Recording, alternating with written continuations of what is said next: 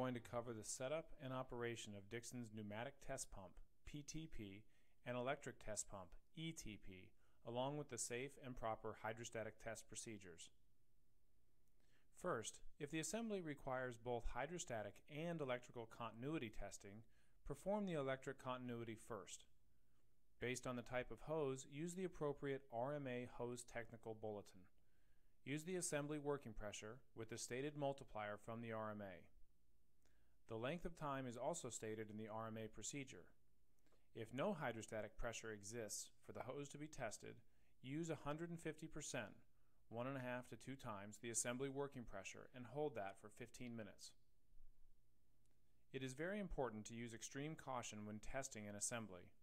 When used indoors, the pressure relief valve on the pump must be connected to a drain or a water collection tank. These pumps are designed to test rubber hose only. Only trained personnel should conduct hydrostatic testing.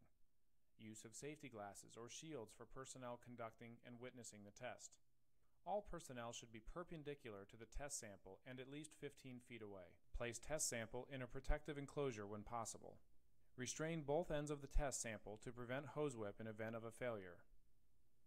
Only use water as a test fluid. The pump consists of the following. Water inlet connection, water shutoff valve. Intermediate hose connection. Pressure relief valve. Air regulator. Air supply shutoff valve. Quarter inch industrial series air quick connect and liquid filled pressure gauge.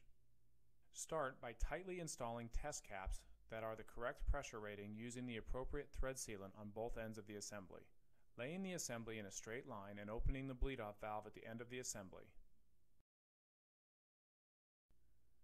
Connect the intermediate hose to the assembly and then to the pump. Connect the water and air supply. Making sure the pump is positioned at a 90 degree angle to the test sample. Elevate the end of the test sample and open the water inlet valve. When water starts coming out of the bleed-off valve, then you must walk the hose to remove all air in the assembly. Lower the assembly back to the ground and close the bleed-off valve. Secure the hose to the ground by placing sandbags a foot from each end. Mark the assembly to view movement.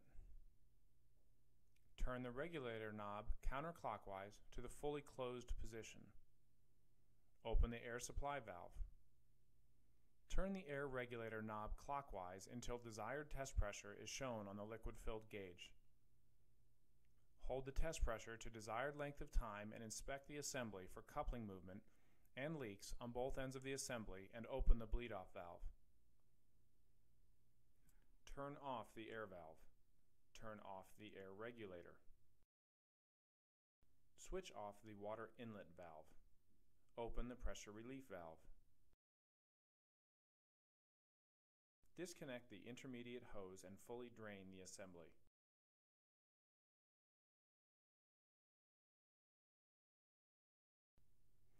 If you are using the ETP for the first time, you must remove the plumbing assembly as one complete section, as shown here.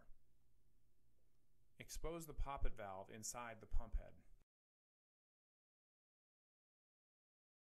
Push in on the valve in the head and push the second valve as shown. Reinstall the assembly, snugging the garden hose connections and tightening the SAE fitting.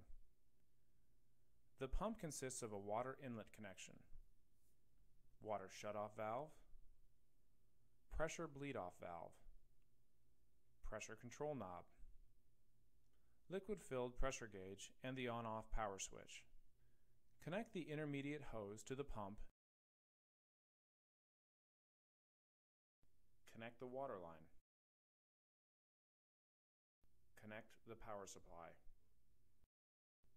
Connect the intermediate hose to the test sample and open the water supply valve. Fill and bleed the hose as previously shown.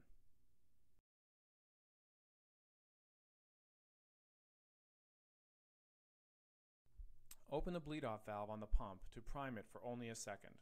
Then turn on the pump and turn the pressure knob clockwise until desired pressure is achieved. This could take a few minutes due to the low fill rate. Hold the pressure and check for coupling movement and leaks as previously shown.